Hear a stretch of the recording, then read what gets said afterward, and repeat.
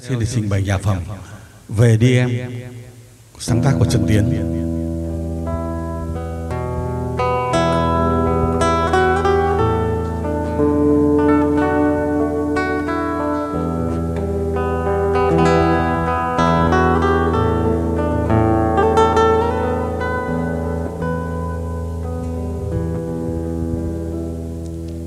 Về đi em làng quê cũ có con sông xưa vô bờ.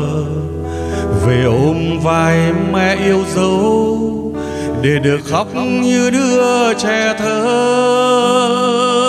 Để quên đi năm tháng bơ vơ, mình em giữa phố đông xa lạ. Bùa với em nghèo đói xa hoa, rồi lừa. Để quên đi một phút giây lỡ làng, đời em trong trắng như hoa.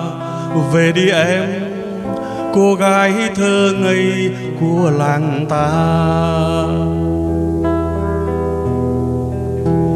Về bên dòng sông thơ ấu có anh trai quê vẫn chờ.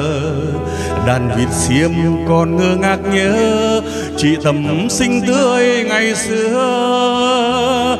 Bàn tay em duyên dáng đông đưa. Chợ sông in bóng em đi về. Tình quê mai lá đơn sơ.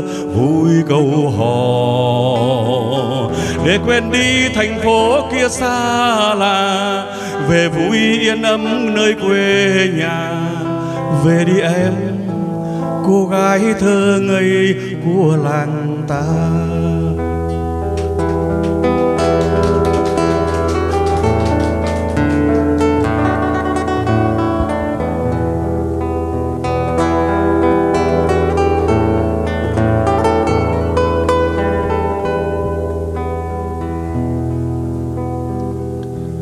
Về đi em, làng quê cũ, có con sông xưa vô bờ. Về ôm vai mẹ yêu dấu, để được khóc như đứa trẻ thơ. Để quên đi năm tháng bơ vơ, mình em xưa phố đông xa lạ bùa với em, nghèo đói xa hoa rồi lừa để quên đi một phút giây lỡ làng, đời em trong trắng như hoa. Về đi em, cô gái thơ ngây của làng ta. Về bên dòng sông thơ ấu có anh trai quê vẫn chờ. Đàn vịt xiêm còn ngơ ngác nhớ. Chị tầm nấm xinh tươi ngày xưa. Bàn tay em duyên dáng đông đưa chợ sông in bóng, em đi về. Tình quê mai lá đơn sơ, vui câu hò. Để quên đi thành phố kia xa lạ, về vui yên ấm nơi quê nhà.